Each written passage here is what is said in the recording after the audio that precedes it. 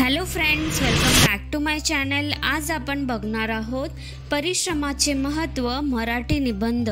चला तर मग सुरू करूया आजच्या या व्हिडिओला. भगवान श्रीकृष्ण गीतेमध्ये म्हणतात की कर्मण्य वाधिकारस्तु या फलेशु कदाचन.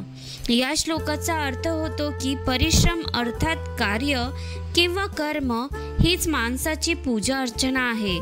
या पूजेशिवाय मनुष्याचे सुखी आणि समृद्ध होणे कठीण आहे. जो व्यक्ती श्रमापासून दूर राहतो तो आळशी आणि नेहमी दुसऱ्यावर अवलंबून राहणारा असतो. पूर्वीपासूनच कठीण परिश्रमाचे महत्त्व सांगितले गेले आहे. कोणतेही कार्य श्रमाशिवाय शक्य नाही.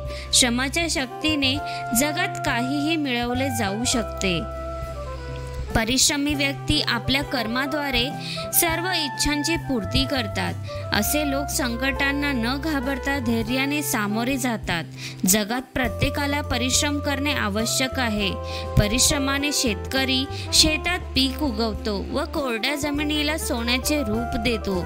शेतकरी दिवस रात्र मेहनत करून आपल्या शेताला सोन्यासारखे बनवतो. श्रम एक असे साधन आहे ज्याच्या मदतीने व्यक्ती जीवनातील सर्व समस्यांपासून सुटका मिळवू शकतो. नियमित केलेले परिश्रम आपल्याला आपल्या ध्येयापर्यंत पोहोचवते. आज जगातील सर्वच देश कठीण श्रमाने विकास विकास करीत आहेत. मेहनती व्यक्तीला फक्त जिवंतपणी नाही तर मेल्यानंतरही यश प्राप्त होते.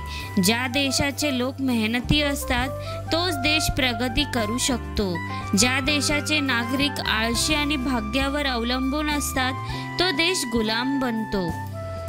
ज्या पद्धतीने सूर्य त्याच्या प्रकाशने रात्रीचा अंधकार दूर करतो त्याच पद्धतीने श्रमाने मनुष्याच्या जीवनातील अज्ञानरूपी अंधकार दूर होऊन व्यक्तीचे भविष्य उज्ज्वल बनवते. कठीण परिश्रमाशिवाय उन्नती संभव नाही. कारण जरी समोर स्वादिष्ट व्यंजनांचे ताट सजवलेले आहे तरी जर त्याला खाण्यासाठी थोडेही कार्य केले गेले नाही भोजन कितीही स्वादिष्ट राहिले तरी त्याचा स्वाद घेता येत नाही. मानव परिश्रमाचे फळ आहे की आज दुर्गम भागात प्रवासाचे योग्य साधन उपलब्ध झाले आहेत. पर्वतांना कापून रस्त्यांचा निर्माण केला गेला आहे. नदी आणि समुद्रावरही पूल बनवण्यात आले आहेत.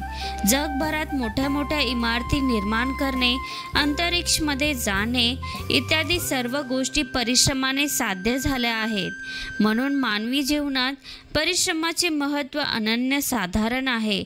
जो व्यक्ती नेहमी कार्यरत असतो. यश त्याच्या चरणात असते.